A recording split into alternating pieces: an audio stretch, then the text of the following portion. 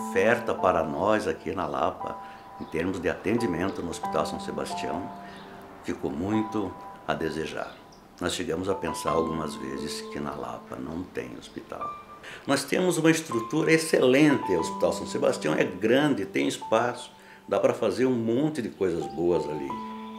Mas cada situação que a gente se depara, eu inclusive com a minha família, qualquer coisinha que a gente precisa, você tem que subir numa ambulância e se mandar para Campo Largo. A gente tem um hospital regional com recursos humanos, mas que não funciona como um hospital regional, que atende especificamente os, os pacientes de TB e alguns casos, como eu falei, do município, mas que não, a gente não sabe quem regula como é que é regulado, quem despacha para lá, como é que entra, como é que sai. E mesmo se esse paciente entrar lá da Lapa e precisar de uma, uma questão maior, eh, o hospital não tem como referenciar, por exemplo, para o Hospital do Trabalhador ou para outro, é, para outro hospital, o que é uma pena. Né? Então, a Lapa e a região ela é desassistida de um hospital de referência para para questões que necessitem de internamento, para questões de alta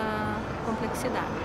Numa época em que só se fala em falta de vagas, falta de leitos, falta de vagas, falta de leitos, né? Nós temos uma estrutura grande aí, reformada, né? E, é, onde existe é, vagas para internamentos de mais pessoas e espaço para fazer mais, é, dar mais condições de ter mais leitos, né?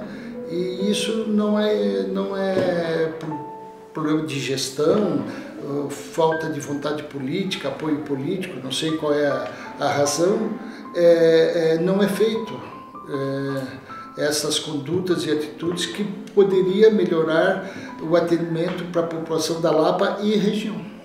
O nosso potencial é muito grande lá muito grande de fazer mais coisas, mais especialidades. Só que tem que ter investimento em pessoas, em pessoas. Foi feita uma reforma, foi feita uma reforma, um centro cirúrgico muito bom, muito bonito, uh, com duas salas cirúrgicas, né?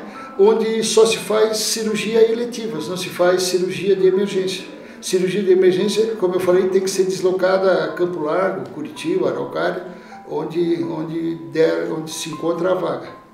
Às vezes a gente fica até pensando, de, quando precisa de utilizar a UPA, a gente pensa que vai chegar no UPA simplesmente como se fosse uma estação de embarque para Campo Largo. Não adianta dizer que não existe recursos. Quando existe boa vontade, criatividade, empenho, as coisas acontecem. E aí, de repente, só falta um passo à frente.